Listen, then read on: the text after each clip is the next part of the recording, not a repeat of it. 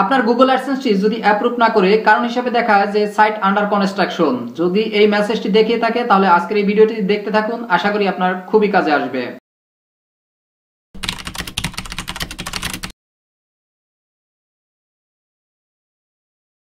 তো আসলে এই সমস্যাটি হয়ে থাকে মূলত দুটি কারণে। এর বেশি কোনো কারণ না।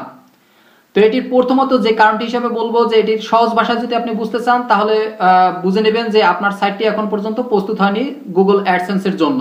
তো সেটির কারণ হলো, আমরা যে কাজটি করি, আমরা একটি সাইট তৈরি করার পরই খুব দ্রুতভাবে আমরা যে কাজটি করি, দশ থেকে বিশটি পোস্ট লিখে ফেলি। তো লিখে পড়ার পরই আমরা যে কাজটি করি যে এক সপ্তাহের মাথায় আমরা যে কাজটি করি, আমরা সরাসরি গুগলের কাছে অ্যাপ্লাই দিয়ে বসি। তো আসলে এটি হলো মেইন কারণ হলো এটি। এটির কারণে দেখা যে আপনার সাইট আন্ডার কনস্ট্রাকশন যে আপনার সাইটটি আসলে গুগলের জন্য কিন্তু আপনার প্রস্তুত না। কিন্তু আপনি কি কাজ করেছেন? যে আপনি বিশটা পোস্ট দিয়েছেন, আপনি ভেবেছেন যে ফেসবুক বা বিভিন্ন সোশ্যাল মিডিয়া শেয়ার করেছেন, ভাবছেন যে আপনার ব্লগটি প্রস্তুত।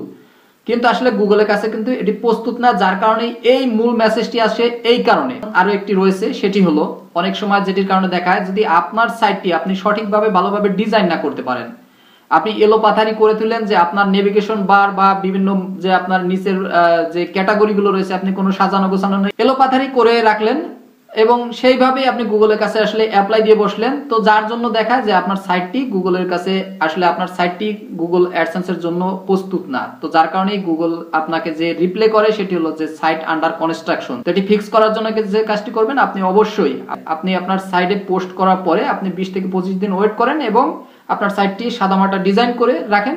তারপর আপনি গুগলের কাছে অ্যাপ্লাই দেন, তাহলে আর কখনোই মেসেজ আসবে না। ইনশাল্লাহ আপনার গুগল অ্যাডসেন্স অ্যাপ্রুভ হয়ে যাবে। তো ব্লগ বিষয়ক যদি আরও কিছু আপনার জানার থাকে, তাহলে অবশ্যই আপনি যে কাজটি করতে পারেন, আমি রিসেন্টলি যে ফেসবুক গ্রুপটি খুলেছি, সেই লিঙ্কটি আপনি এই ভিডিও ডিসক্রিপশনের নিচে পাবেন।